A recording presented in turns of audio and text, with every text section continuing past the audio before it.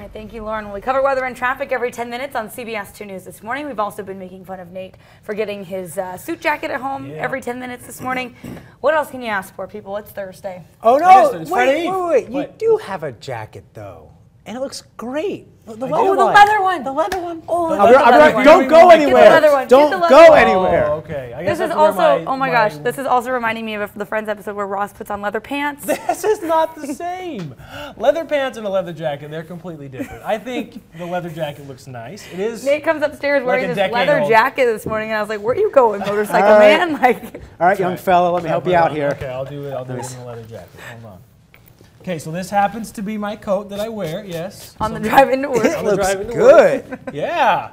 So I do have one coat. I got this one. I left my uh, suit coat. You look I- like a pilot. Hey, there you go. That's a compliment. That is a compliment. Do you, have, All do, do you have your license? Nope. Can you Nope. take me to the Bahamas? Sure don't. I sure. I was thinking We about need Roland trip, on this show. trip to trip to Paris. Bring me back something French. We should talk to Roland, the evening Do planes guy. have four-wheel drive? Does this have a They can phalange? get gas mileage. do they have There's no phalanges? phalange on this plane if you've seen Friends that episode. So, all right, let's talk about some weather out there uh, as well this morning. So temperatures, yeah, we're still cold out there. The temperatures near 20 degrees. In fact, 19 reported right now in Boise. North northeast winds at five miles an hour, uh, making it feel like 12. So uh, certainly a chilly one out there, and uh, not too breezy. A little windier up near Mountain Home. So we are seeing some single-digit wind chills out there uh, for that location. The change is happening though with the pattern as we move towards the weekend. So we are going to see some dry weather for the most part through Saturday. Rain and snow though is expected by Sunday. So that's going to be the bigger change you're going to be noticing. But I think all of us will feel the change with the temperatures out there getting up uh, above average. So periods of rain next week with a continuation of storms lined up to move into the area, and then warmer temperatures as we talked about uh, that are on the way. So here's that gradual warm up. We're going to go from freezing yesterday to 36 today. So should feel pretty nice out there, although we'll see the cloud cover, so might not feel necessarily much warmer. 40 degrees on Friday. Normal high is 36 degrees, 43 on Saturday and on Sunday. Notice that uh, the next chance of seeing weather, it looks like it's just right at our doorstep, but with the jet stream still positioned uh, coming in from the north or the southwest, excuse me, it's going to keep all that moisture to the north and west of us. So areas like Washington, of course, and Oregon are going to see quite a bit of rain as this system moves inland.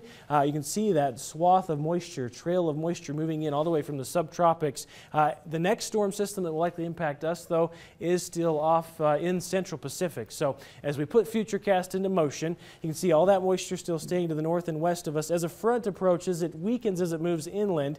The actual storm system that's going to impact us is going to move in from the south and west. So that'll move into central and northern California as we head into early on Saturday. By Saturday afternoon, we'll start to see that southerly flow in place, some cloud cover, and some showers arriving by late Saturday for the mountain locations. With warmer temperatures, though, just a rain snow mix, if not all rain showers expected for here in the valley on Sunday. Uh, yeah, temperatures look pretty nice next week as well, staying above our average high of 36. In fact, almost 10 degrees above average on Tuesday with 46 degrees expected. Uh, chance of some rain showers for here in the valley. Slight chance on Wednesday as well. In fact, some models indicating that the latter half of the week could continue this active weather pattern with a chance of showers nearly every day next week. Mountain forecast looking pretty good, partly cloudy to mostly uh, cloudy skies as we head into today and tomorrow. Slight chance of some snow late on Saturday. Then we have that chance of some snow most days uh, beginning early next week into the middle of next week. Uh, in fact, with some warmer temperatures possible on Tuesday, could see a bit of a rain snow mix at the mountain valley floors, but still snow higher up, which is where we want it.